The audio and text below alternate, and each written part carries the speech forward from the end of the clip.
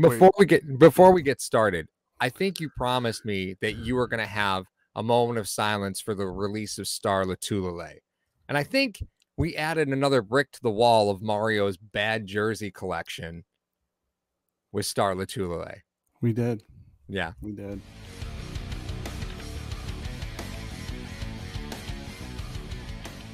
Hashtag Sports is proud to partner with Mr. Rogers Homes. Sean Rogers is a proud Western New Yorker and is now your Arizona relocation specialist. You can see his reviews as a top 1% agent on Zillow, Homes, and Trulia.com. Go ahead and download his free Arizona relocation guide found in the description of this video. Subscribe to his YouTube channel, and as Sean would say, God bless America and go Bills. But people are not privy to the information of what my first jersey was. Oh, I don't I don't think I know this one. My first think- jersey that started the downfall Oh, Yes. oh, oh, I know this one. Yeah, never mind. I know this one. is is a is a Wineski 42 Oh, from uh, 2006. Get out of here.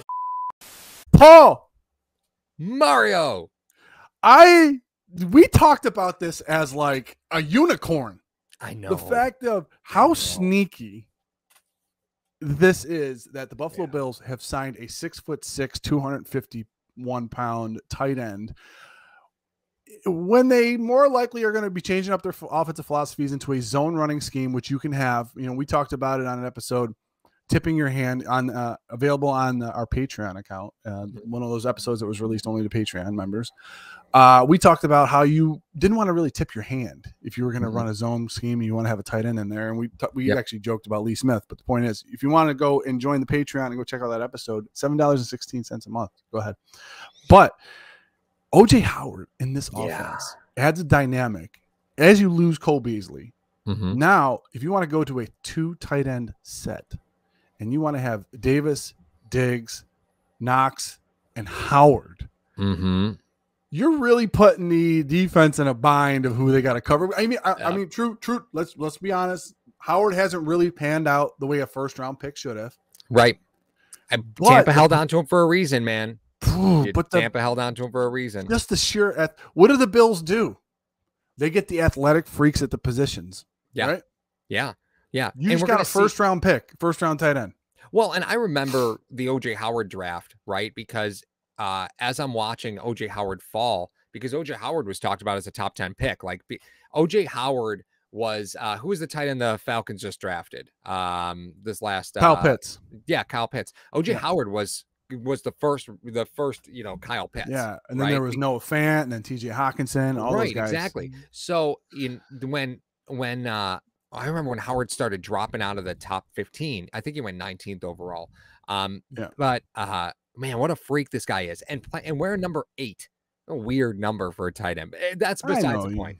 But Yeah. I think what's really interesting here is a couple things. One, you sign this absolute mammoth individual who runs like a deer, right? At the tight end position, he runs like a deer. Um, obviously, you have a little bit of concern over what he's capable of doing from a route perspective because he's been good at times, but just hasn't been effective, right? Like, just not hasn't been effective. So, hopefully, we figure out how to unlock that.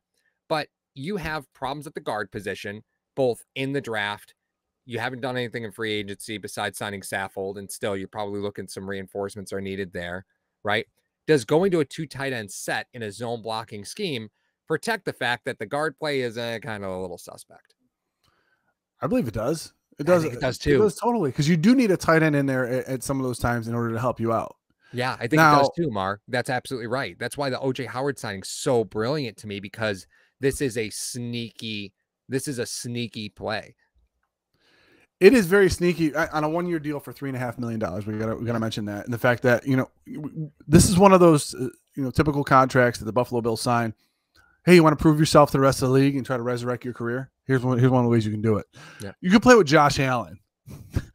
Come and play with Josh Allen. you Yeah. know, so you know it, it is going to take some targets away from Knox, as you know. Howard, I, I like the idea of Howard because the last time Dorsey worked with a tight end that had the same height and weight and physical attributes was Greg Olsen in Carolina. Mhm. And during you know Cam's MVP season, I mean, here you're talking about a guy who got 100 targets, at least 100 targets a year in Greg Olsen. And I don't expect that for OJ Howard, but you have a guy that could stretch the field vertically in the middle of the field to occupy the safeties. So Gabe Davis and Stefon Diggs can work on the outside. Mhm. Um, signing him now, you're probably going to fight me on this real quick, but I, I got to tell you this: you're adamant about the Buffalo Bills drafting a running back or a receiver in the first round, correct? Yep. Does this take a receiver or a running back off the table? I don't think it does, man. I No? don't because if you're going to run two tight end sets, you can't run a slot receiver anyway, right? Yes, true. So, I mean, it's that's what like think about it this way, right? Buffalo comes out in in a in a in you know a four receiver set. Let's just say they come out in a four receiver set, and two of those receivers are Dawson Knox and OJ Howard. That team, that team on the sideline, the defense could look and say, okay, we're going to go a little heavy, right? By signing OJ Yeah. Howard, you force you force other teams into nickel almost the entire time Yeah. because you could just go go four wide with them. You know, OJ Howard ran a four five one in the forty. like that's that's crazy speed. That's now, mind fair. that was that was five years ago, right? So let's. Yeah. I'm sure. I'm sure he's bigger now, but this was a dynamic you didn't have even on the roster last year. Like No. you were, you were, ho- you you had Reggie Gilliam as your tight end too. You know, like it's just they, there's there was just this dynamic didn't exist, and that's what's so exciting is it's a new wrinkle. And you talk about you have to find ways to change what you're doing. Yes, there's a new offensive coordinator in town, but the talent level, I mean, and the profile, I mean, how could you just not love the idea of this? Oh my god. Yeah, he he opens up so many more things for your offense. Like Yeah. now, if I want to run a screen, I'm gonna run a tight end screen instead of a running back screen Mhm. to Howard and Yeah. put some bodies in front of him. Or even, or even Howard in front of Knox. I'm fine with that. I'm fine with that. Man, six six, you just get behind him. That's you it. telling me if you go. put a bunch if you put a trips bunch together with Knox, Diggs, and Howard, wh- who are you gonna guard? Wouldn't it that- be funny? Wouldn't it be funny if it were uh Howard, Knox, and then uh McKenzie uh Oh on the God. backside of that? You're not gonna find them. yeah, You're not that's gonna find them. You're not That's gonna find right. I just love the fact that they, you know, they re-signed McKenzie and they get Mhm. Howard, who I think a lot of people, because of the Von Miller signing, Mhm. It kind of overshadowed, Sure. O.J. It's a one year deal. you which know, may like, put a chip on the kid's shoulder. I, I hope think. so. Yeah, I hope, it, so. one year, three and a half million. But that, I Well, think is he's such a dynamic physical specimen at Yeah. the tight end position that if a team is going to find some, it, it, it shocked me that Bruce Arians couldn't find a place for him. you know what? It's I think when you look at yes, that team was really, really successful, right? Yes. But to not be utilized is frustrating, right? So Yes. he wants to make an impact because he was a huge college player. Like there were Yeah. no, there were not many players touted as highly as OJ Howard coming out of Bama, right? Yes. Like it was, it was a different level. And he gets the NFL and just is here.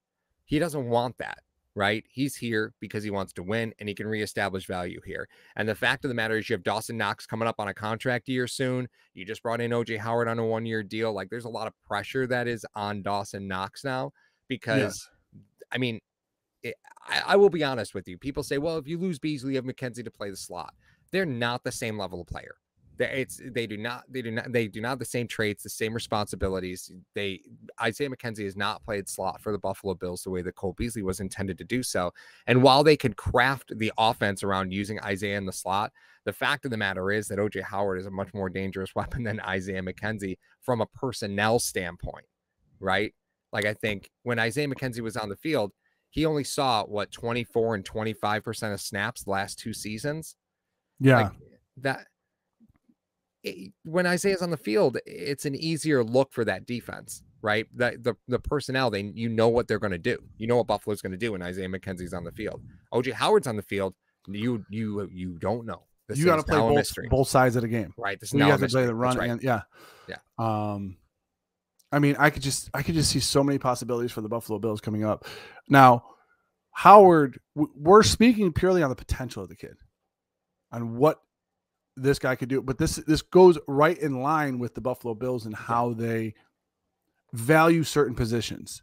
You know, uh, you know when they when they drafted um, when they drafted Allen and Edmunds, 2 Mhm. physical freaks. Ed Yep. Oliver, physical freak. Yep. Uh, you get you you sign Von Miller now. Rousseau, Rousseau's a physical freak. freak. You know what I mean? Yeah, that's what they do. Spencer Brown, they're at- yeah, physical freak. you know what I mean? All those guys. So it seems to go in line with listen, we're gonna get the most physically dominant athlete and we have the ability to coach them up. I them absolutely cannot wait to see what what OJ Howard's first reaction is on that first shallow crosser that Allen throws through his physically through his body. Because he's been in there catching slow pitch softballs from old man Brady, right? And don't oh get me wrong, I- god! I know, right. I know, I know he caught, I know he caught Winston. Allen's another level. Just a just another level. It's Oh gonna be like God. Happy Gilmore when he's in the batting cage, like standing in front of it, you know, standing in front of the pitching machine, taking his lumps. Doesn't it seem amazing the fact that your number one red zone threat is Josh Allen, and Yeah. always probably will be Josh Allen. But the possibility now of spreading OJ Howard out wide for a jump ball Oh, is amazing. Is oh, absolutely. Eh, you didn't have that element last year. You didn't. Yeah. keeps keeps me warm. Thoughts like that keep me warm in the wintertime, Mario. keep me warm in the All right. wintertime. Yeah, hashtag nation. Put your thoughts about OJ Howard in the signing and what you what you expect out of him. I mean, uh, we're not expecting a 75 catch season with a, a 1200 yards and 15 touchdowns. We're not expecting that, but he definitely adds a dynamic to this offense that maybe it was lacking prior to that. Eh, we'll see. I don't know.